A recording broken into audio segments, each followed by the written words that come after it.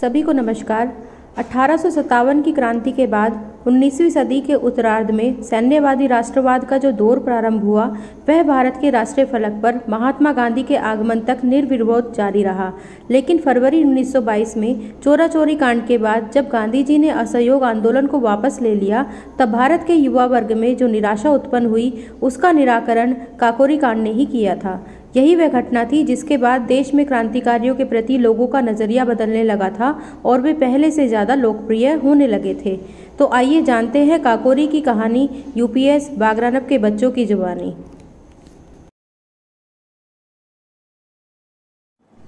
काकोरी कांड काकोरी कांड भारतीय स्वतंत्रता संग्राम के क्रांतिकारियों द्वारा ब्रिटिश राज के विरुद्ध भयंकर युद्ध छोड़ने की इच्छा से हथियार खरीदने के लिए ब्रिटिश सरकार का एक खजाना लूट लेने की एक ऐतिहासिक घटना थी, जो 9 अगस्त 1925 को लखनऊ ज़िले के काकोरी रेलवे स्टेशन से छुट्टी आडान सहारनपुर लखनऊ से पैसेंजर में घटी।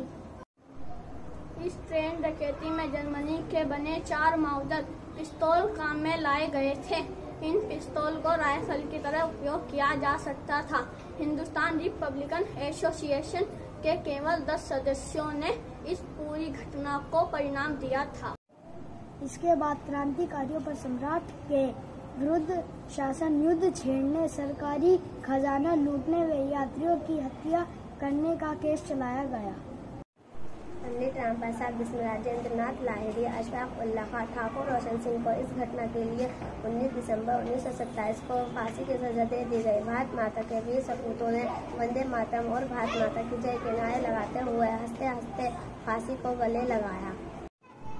क्रांतिकारियों द्वारा चलाए जा रहे स्वतंत्रता आंदोलन की गत, को गति देने के लिए धन की तत्काल व्यवस्था की ज़रूरत के कारण ही इसकी योजना बनाई गई थी।